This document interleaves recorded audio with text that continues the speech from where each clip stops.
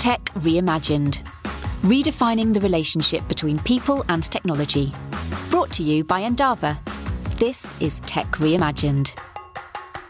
Hello, I'm Bradley Howard, and welcome to Tech Reimagined, a place where we get technology experts together to explore innovative ways to reimagine the relationship between people and technology as it relates to things that influence our everyday lives. Today, I have two experts from the mobility industry Tony Whitehorn and Adam Banks. Tony, would you like to introduce yourself? Yeah, hi, I'm Tony Whitehorn. Uh, I've been in the automotive industry for well over 30 years, goodness me.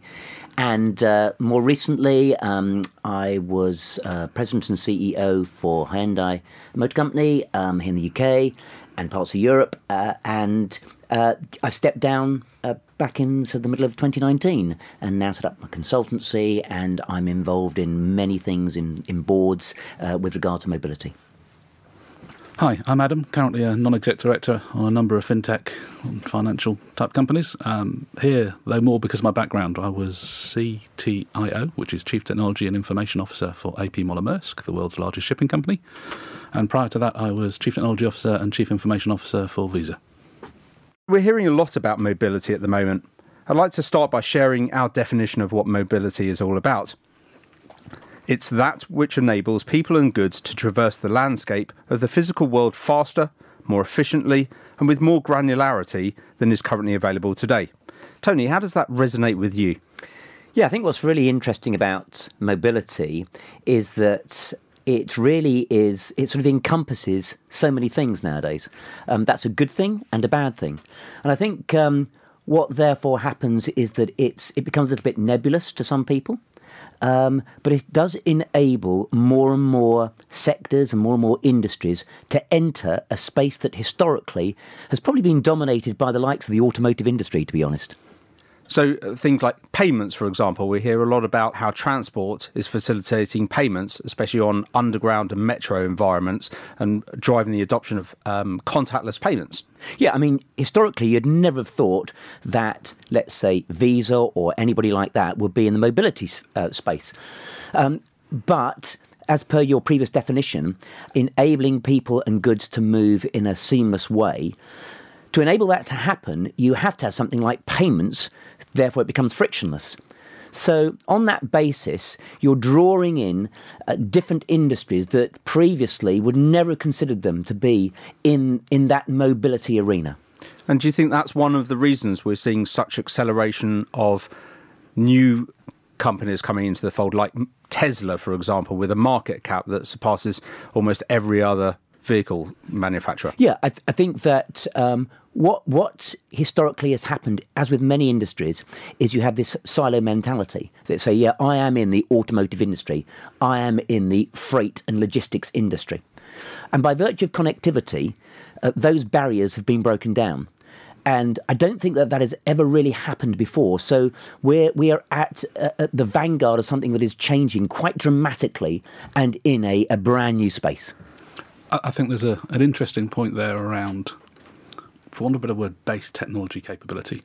So, be it connectivity, be it type of devices, be it battery life, those kind of things are really starting to open up industries that previously couldn't be digitized because they were physical to digitization because you can connect the physical to the digital. That's really interesting, isn't it? So, we've been hearing a lot about the term mobility as a service and how it will be powered by 5G. Adam, do you think that this is another industry buzzword or does it have some genuine meaning? Depends which one you're talking about. If it's 5G, then I do think that certainly for good goods mobility is going to have a significant impact data volumes in that area are tiny. They always have been. They're constrained by satellites. So, so the sort of 5G bandwidth is nothing but hype. It's the low latency aspect. When, when you look at, if I just take Maersk as an example, there's 4 million containers in continuous movement around the world. Trying to understand every single data point, where it is, what's happening to it, the amount of shock it's been through, temperature, pressure inside a container on a continual basis requires a very, very chatty interface. And that's what 5G is going to enable at a different lower level of granularity than we've ever had before. So there's four million containers. Um, how do you think that will affect things like the airline industry then, for example, where you've got um, aeroplanes all over the world, all now wanting to be tracked? Yeah, so I mean that that kind of capability's been there for a long time. If you think about a plane, it's got an almost unlimited power source. It's got a huge amount of assets strapped to it. It's when you go to the other extreme and say a pair of jeans or a small cardboard box. How would you track a cardboard box? It's got no power connectivity to it. It's got no network connectivity.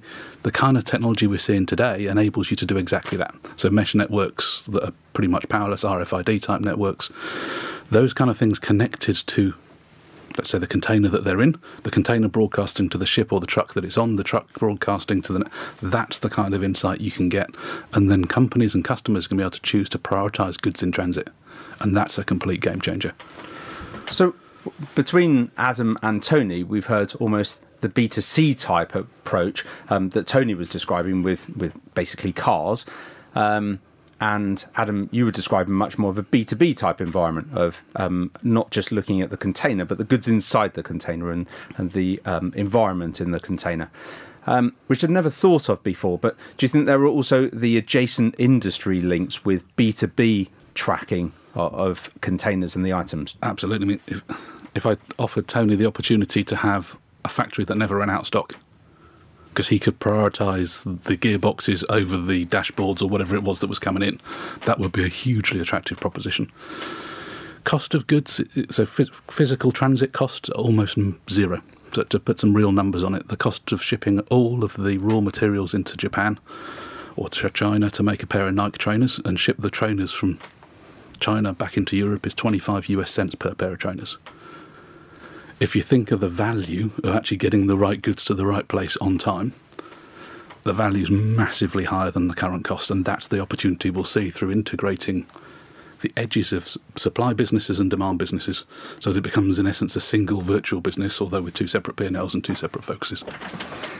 And uh, yeah, I think that's a really interesting point, says, because um, I think Toyota were at the leading edge of lean production, and uh, and their whole thing was don't have too much stock lying around.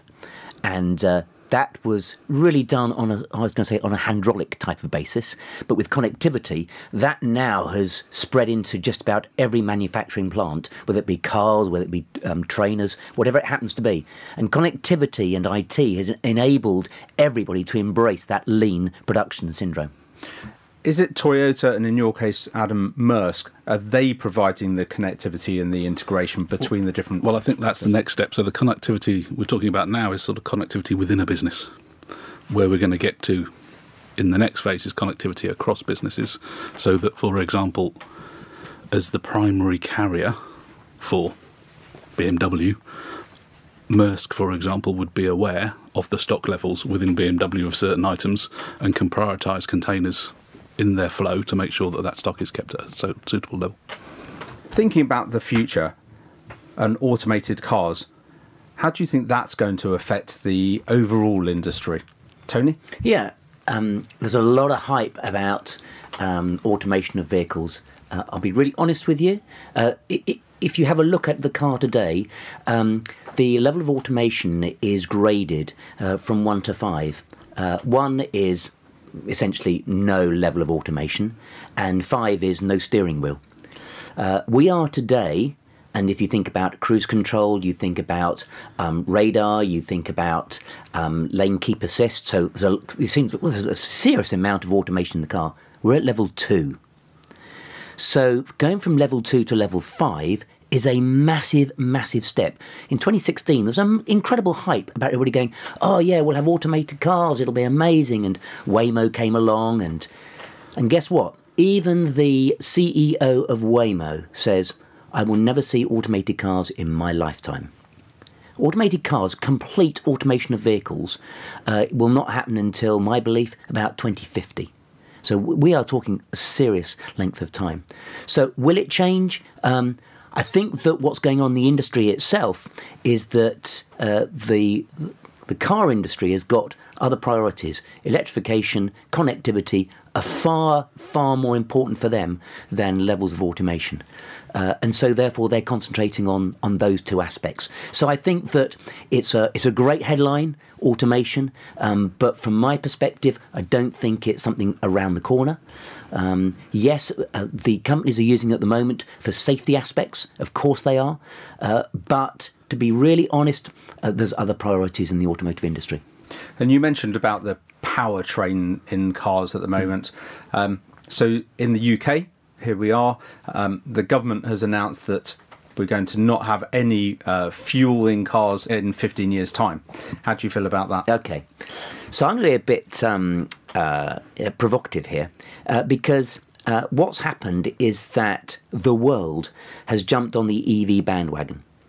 And if you look at um, from well to wheel, which is the whole production cycle of a, an EV vehicle, if you compared an EV vehicle to the exact same diesel vehicle, the EV vehicle would have to have driven 60,000 miles before it comes exactly the same level as CO2 as the diesel vehicle. Because in the production of an EV vehicle, the level of CO2 is enormous. So, yes, it's wonderful when people say, oh, I've got a zero emitting vehicle. Um, but you have to look at the whole production cycle of it. Uh, don't get me wrong, if we can get uh, zero emission um, in terms of levels of production for the e- for the battery, then great, that's really good news. But we're nowhere near that at this moment in time. So I think that EV has has some legs. Um, it is not the panacea. Uh, I think that many people, to be honest, would be more suited to driving a diesel vehicle today, which is, you don't hear that from anybody else, I have to say. Um, but it's been painted as a very black picture. Uh, but to be really honest, if you're doing 30, 40,000 miles a year, you should be driving a diesel vehicle. You should not be driving an EV. Uh, particularly if you do long journeys, it, it's just uh, in it, it's overall it's it doesn't suit. It's inefficient for people's lifestyle. Absolutely. Can I ask, um, what's you, the main vehicles in your households then, Adam? I'd really rather you didn't ask that question. He's got a bike, probably. no, I'm the other end of the scale when it comes to energy consumption, I'm afraid. I, I work on the basis that you're as green as you can be based on the numbers of litres of engine you leave on the drive when you go to work. so I have quite a few large capacity engines, but they sit there most of the time, so that's okay. That's interesting because that, that brings us on to ownership. In fact, before we move on to ownership, what's the what's the main vehicle in your household? Tony? Yeah, so I have to. I have a hybrid vehicle and a petrol vehicle. Right. Okay. So um, let's let's talk about ownership, as you were just saying, Adam.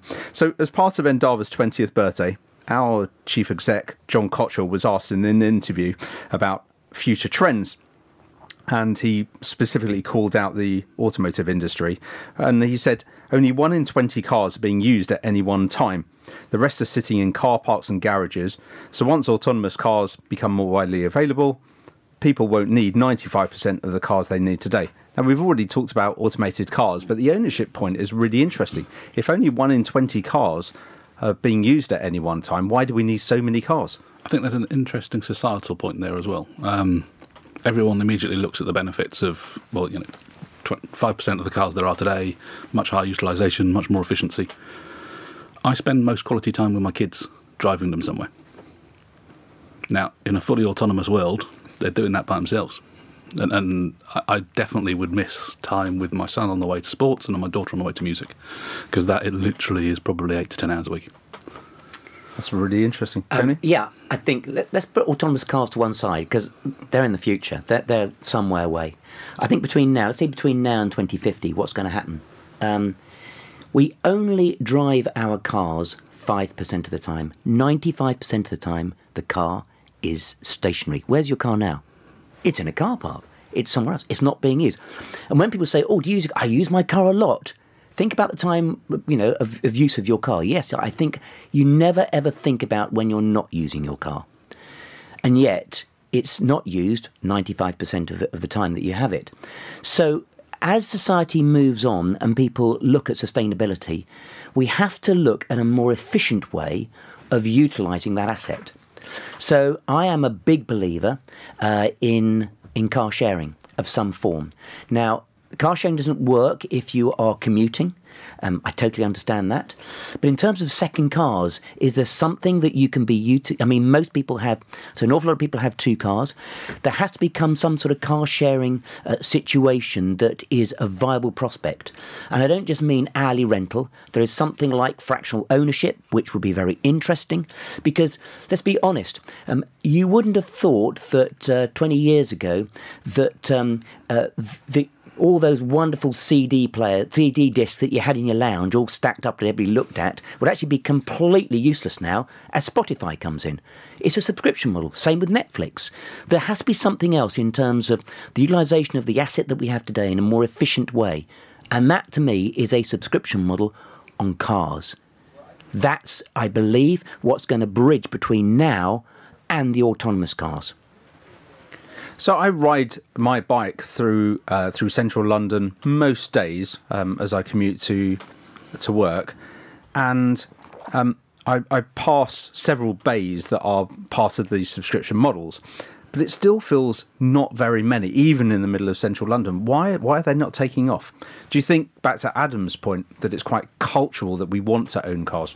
Well, so I'll chip in with a Copenhagen perspective here. Having spent the last five years living in Copenhagen, two things are very apparent. One, the bicycle is king. I mean, the, the, the bike has right of way over cars. So it, if you're in the UK, when you come to turn left in a car, it has to wait for the bikes into Copenhagen. So, so there is a massive amount of cycling. Something like 99% of Danes cycle weekly.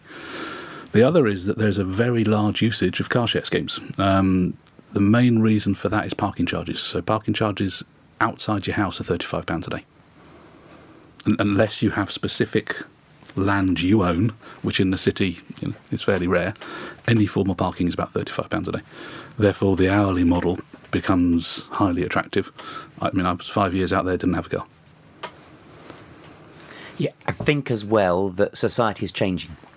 Historically, we as society have been about um, ownership. That's what we have. You know, we own our houses, we own cars.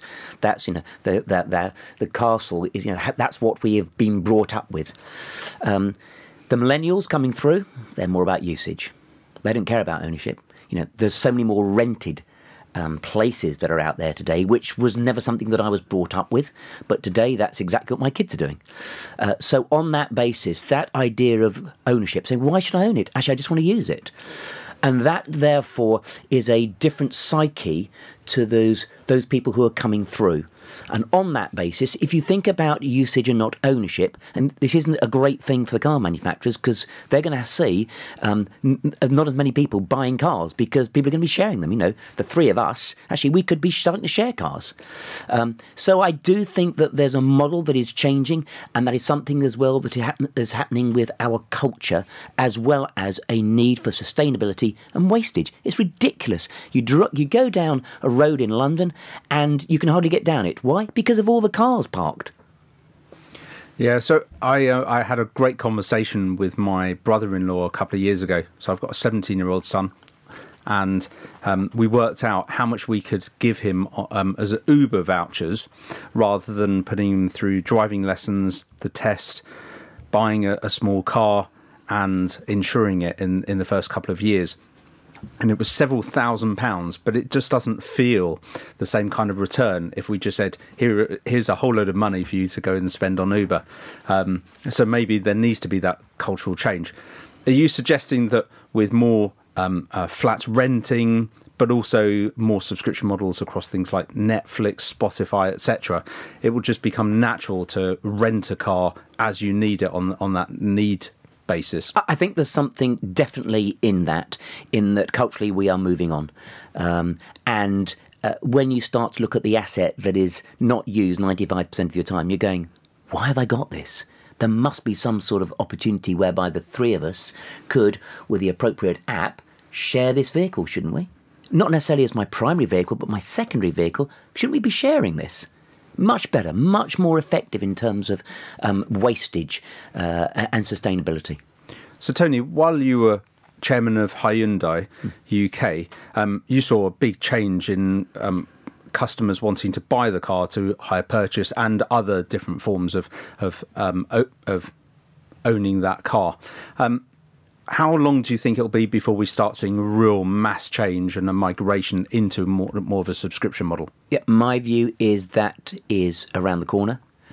Um, if you look in central London, great situation whereby uh, you have a number of people who, number of developers who are building flats, and when they're building uh, apartments, uh, they have a restricted number of of, um, of parking spaces.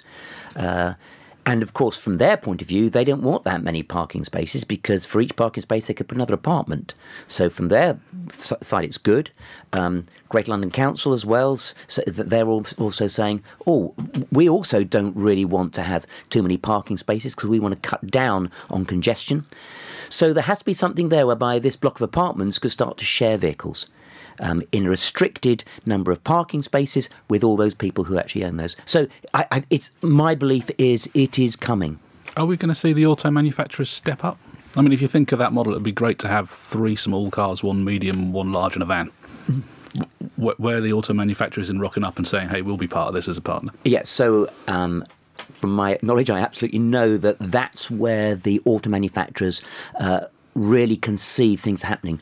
There's um, there's a in the automotive uh, situation. There's a it's called CASE case. So it's connectivity, autonomous cars, sharing, and electrification. So the, that's CASE, and it's the the S which doesn't require lots and lots of investment. It requires a cultural change, um, an innovative move, uh, and that's where automotive manufacturers are saying we need to get into bed with people who are into the sharing model. Because really, uh, big conglomerates like Toyota, Hyundai, BMW, they're not agile enough to get into that, but they're partnering now with people who actually can develop sharing sharing models. So, putting the last two parts of the conversation together, where we talked about um, autonomous vehicles and also car ownership, um, we're already seeing a decline in car sales uh, across, um, certainly in the UK. The SMMT announced that earlier this this week. Um, but if we if we suddenly start finding that the number of cars being sold declines because of more subscription models, do you think we'll then see less investment into autonomous cars as well? So it become kind of ever decreasing circles. Um, I know that you're saying that autonomous vehicles are probably still a way off, but will that be even further away if there'll be less investment there? Uh, I believe that's true. Um, car manufacturers are not making as much money as they used to uh, because they're having to invest in great levels of technology, and particularly electrification. Uh, nobody makes money out of electric vehicles. Uh, manufacturers, dealers, um, intermediaries. It's it's uh, there's there's very little profit in um, in fact no profit really in electrified vehicles at the moment this moment in time. Whereas historically, with a a, a normal internal combustion engine vehicle, there was lots of profit in that. So therefore, the manufacturers are saying. Where am I going to get my money from to invest in the future? They are looking to survive as at today, and that's an issue for them.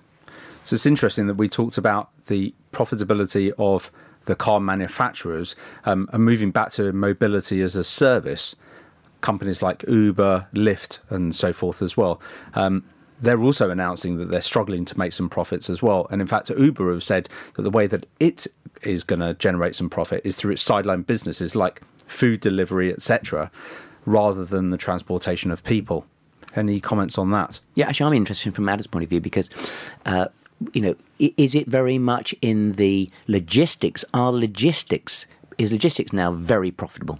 No. So so logistics is more of a commodity industry than you'd like to think. I mean, there's brokers in logistics, typically called freight forwarders, who the commercially astute folks that are buying and selling space. I mean, they don't own any assets; they're just buying and selling space on assets, or buying and selling rental of containers.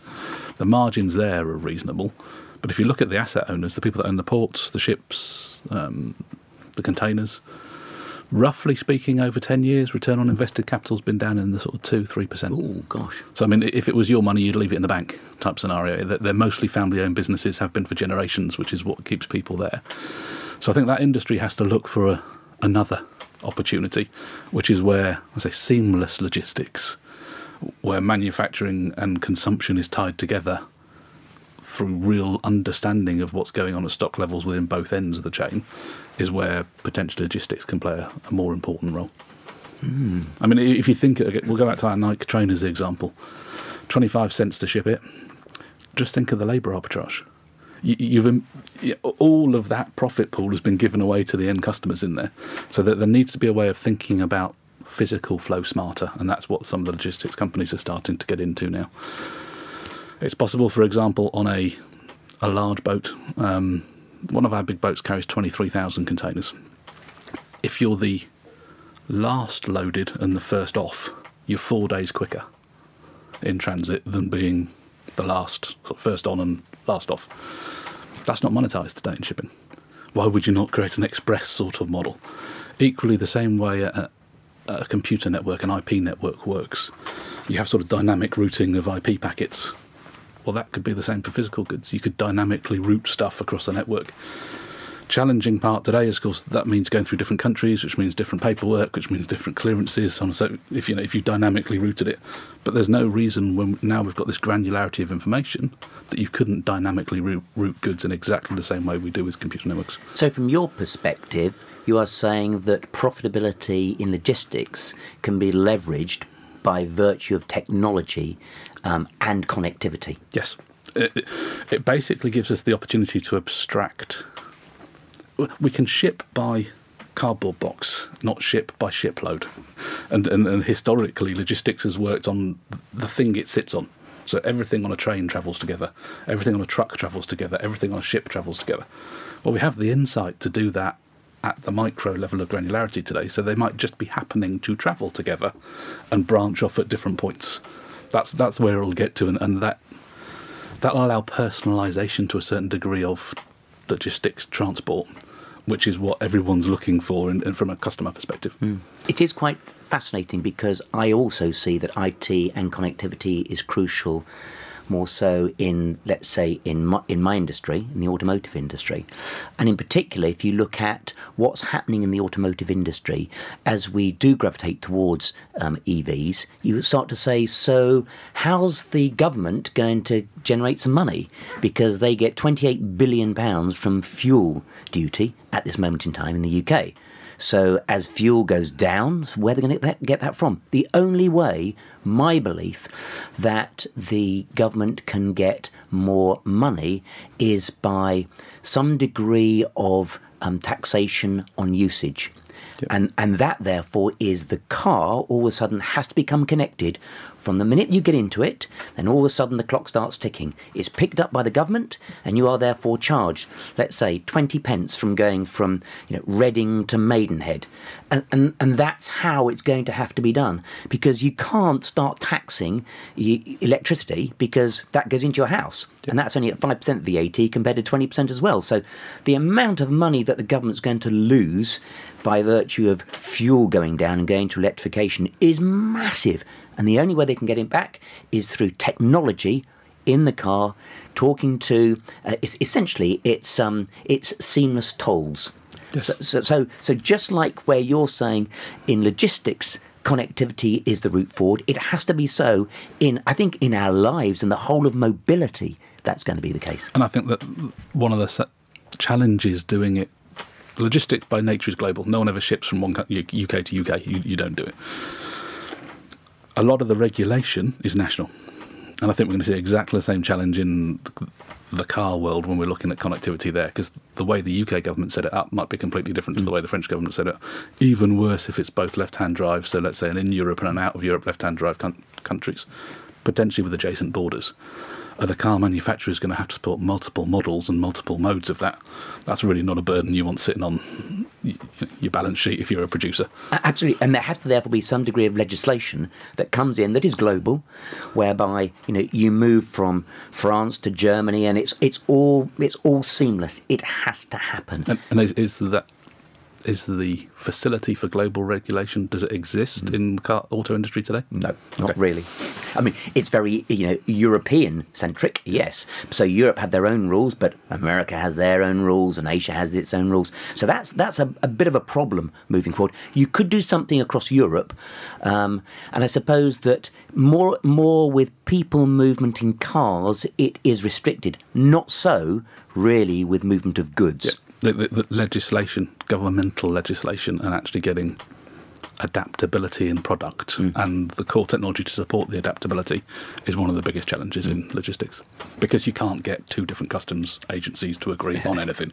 You know, by good. nature, they're going to be competitive. Yeah, yeah. Roll on Brexit. That'll that'll be good then. the IT industry has try, been trying to, to work with customs companies for, uh, for, for many years.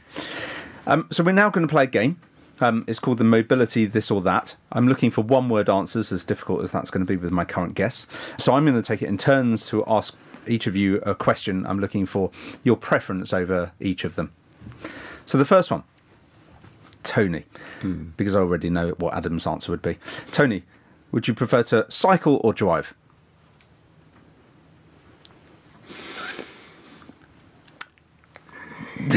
okay, so there's a pause then because it really depends how far the cycle ride is. okay, let's say let's say a five mile trip. Oh, cycle. You clearly don't live in a hilly area. Adam, electric or fuel? Fuel. Netflix or Amazon Prime? Netflix. Analog or Apple Watch? Analog. I can see you at the moment. Uh, Spotify or Apple Music? Spotify. Cash or Bitcoin? Cash. Monzo or one of the new challenger banks or a traditional bank?